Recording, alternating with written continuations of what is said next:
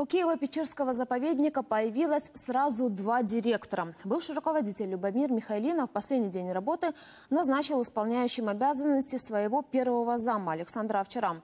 В то же время Министерство культуры определило на эту должность своего кандидата Александра Рудника.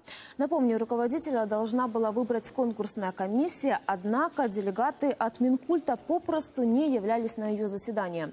Другие члены комиссии подозревали, что выборы срывают специально, чтобы назначить директором человека, который разрешит стройку на территории Лавры.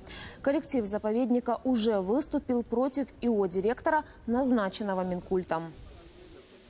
Прийшли представники міністерства, сказали, що от ми призначаємо таку-то людину е, на посаду виконувача обов'язки. Ми цю людину не знаємо. Ви самі пересвідчили, що людина абсолютно не володіє предметом е, керівництва такого закладу.